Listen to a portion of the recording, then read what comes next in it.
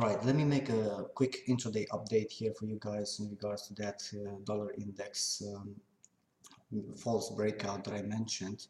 Yeah, so we can actually notice that we went on the 161.8 and we surpassed that already on the on this daily chart. Yeah, let me shrink it down on the two-hour chart.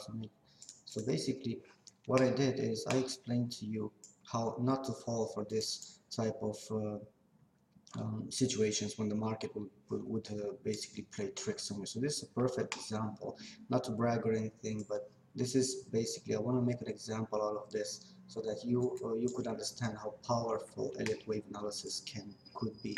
Now the, the thing is that at this stage I am actually let's say quite confident that this is indeed a subminuette uh, 4 yeah so as I said from there on I would I would have expected basically this 161.8 percent Fibonacci um, extensions from from 1 towards 2 to complete basically this um, minor sorry minute free yeah?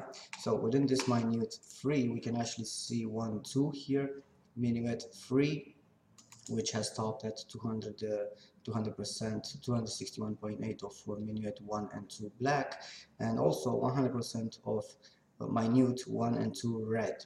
Yeah so quite quite uh, quite a good count I would say right here. I'm quite confident about this personally. So 3 and then 4 minuette and as we can actually see from 3 towards 4 100% is basically this um, represents this subminuette three green sorry blue and then went on the upside with a false breakout right here. So the example that I want to make is basically we're still we're still basically going uh, going on the downside to complete this black minuette 5 now the point is that you know uh, let's say for instance as a new low would have occurred you don't really have a proper bullish divergence right here. So many people would actually say right here during this false break, I would say okay the dollar is going up but we're, we're going in a correction. Guess what happens yeah? This is exactly what happens. This is a perfect example of how not to fall for that type of thing yeah? So as we can see this is a uh, this is a potential ending diagonal right here which would uh, in my personal opinion would give a very nice you know uh, possible confirmation for a bullish uh, divergence. So as I said I, I was expecting actually some volumes right here. As soon as I see this type of things yeah the divergence would would be um, would be possibly confirmed right here. So basically this could um, correct yeah. So the cycle can actually do its thing. Now since that happened yeah I'm gonna show you on the euro dollar how I marked this. Now this was a okay this was a an update that I did. Yeah so what what basically the my personal expectations would be at this stage yeah so this as I said would be a false breakout hence the reason why I marked it with an X and then an ABC and Y. Now the way we are the way this this thing is has basically gone on the upside yeah we can notice a running flat right here. So this would be either an A uh, or a 1 and then a 2 yeah? So the point here is that uh, this pretty much looks impulsive so uh, in other words, a five-wave sequence would be appropriate for that for that intraday move. Yeah, so I'm on the Euro USD two-hour chart, by the way. So how I'm actually seeing this is as a potential ending diagonal. So I would have one here, two here, three, and maybe a bounce off right here, overlapping with this in an ending diagonal, and a possible squeeze in the basically um, an overthrow.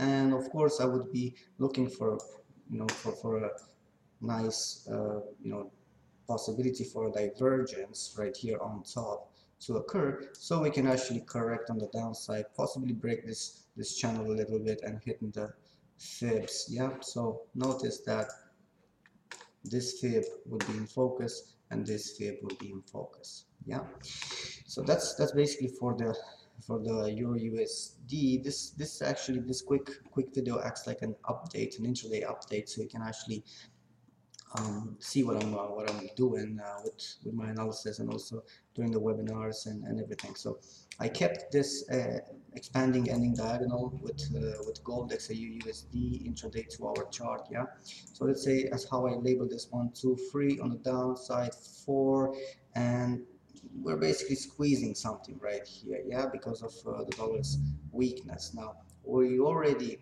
have a new high okay? So I don't know if this is uh, this is like gonna gonna push uh, aggressively and then reverse as a spin off top or uh, because we're hitting 261.8 61.8 already. However in um, in gold the fifth wave tends to be strong. Yeah so we're gonna keep that in mind. I mean I'm gonna keep that in mind and basically monitor it and see see what uh, what happens. As for crude oil it seems like you know WTI it seems like we have five ways on the upside one two three. This four uh, retracement for fourth wave retracement uh, green minute 4 has retraced 20 23.6 um, although it's not unusual right now because of this extension. Yeah as I said shallow uh, shallow retracements are expected within uh, larger extensions. So I'm not gonna I'm not gonna worry about it that much. Plus that you know we're, we're hitting some uh, you know this uh, this pitchfork uh, which I drew as a channel and a border uh, with with this act acting like a 61.8 um, barrier okay? So how this can pan out either it's an ABC okay? Or it's not and we basically want to mark this as an X and this as a W. So I would basically in that type of situation would expect that the uh, the Y with an ABC to possibly hit the 38.2 okay? However the correction could uh, could finalize yeah? So this could uh, as well go in ending diagonal some sort but on the upside notice notice here the volumes and could we, it could give uh, a nice uh, nice possible divergence right there. So you know anyhow we'll keep this updated. The market is moving. I'm uh, basically doing some some posts doing some you know webinars. You guys are able to follow me so you can get constant uh, updates on this yeah? Now as for as for bitcoin the two hour chart is not telling me much. It has moved on the downside from there yeah? So I would I would pretty much just leave it leave it running for now. It's still bearish as we can see. We um, I mean I do have here a possible bullish divergence but not really gonna fall not really gonna fall for it yet because it can do this yeah and then go uh, go again. So uh, as for Bitcoin doesn't really look that clear for now so I'm just gonna hang around and see what it does and then possibly make a more intelligent calculated decision. So this is all I wanted to say. It's time for me to make a post